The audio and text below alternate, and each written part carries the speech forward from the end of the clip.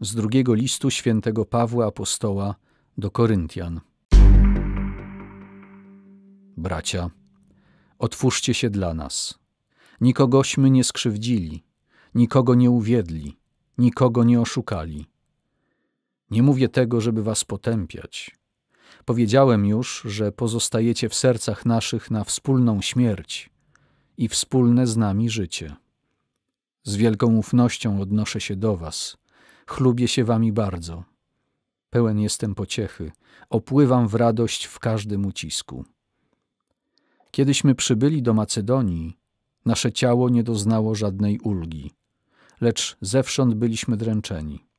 Zewnątrz walki, wewnątrz obawy. Lecz pocieszyciel pokornych, Bóg, podniósł i nas na duchu przybyciem Tytusa. Nie tylko zresztą jego przybyciem, ale i pociechą, jakiej doznał wśród was, gdy nam opowiadał o waszej tęsknocie, o waszych łzach, o waszym zabieganiu o mnie, tak, że radowałem się jeszcze bardziej. A chociaż może i zasmuciłem was moim listem, to nie żałuję tego.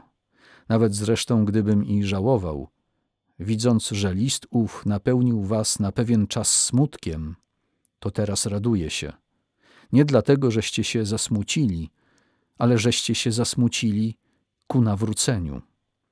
Zasmuciliście się bowiem po Bożemu, tak iż nie ponieśliście przez nas żadnej szkody.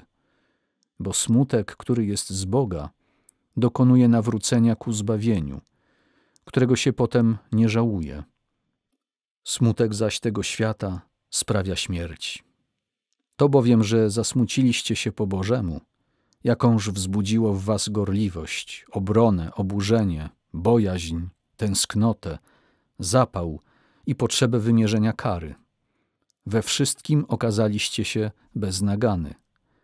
Dlatego też, choć napisałem wam, to nie z powodu tego, który dopuścił się niesprawiedliwości, ani nie przez wzgląd na pokrzywdzonego, lecz by okazać nasze wobec Boga zatroskanie o was. Tak więc doznaliśmy pociechy. A radość nasza spotęgowała się jeszcze bardziej tą radością, jakiej doznał Tytus, przez was wszystkich podniesiony na duchu. Przeto, jeśli się wami chlubiłem przed nim, nie doznałem zawstydzenia. Podobnie jak wszystko mówiliśmy wam zgodnie z prawdą, tak też prawdziwą jest nasza chluba wobec Tytusa.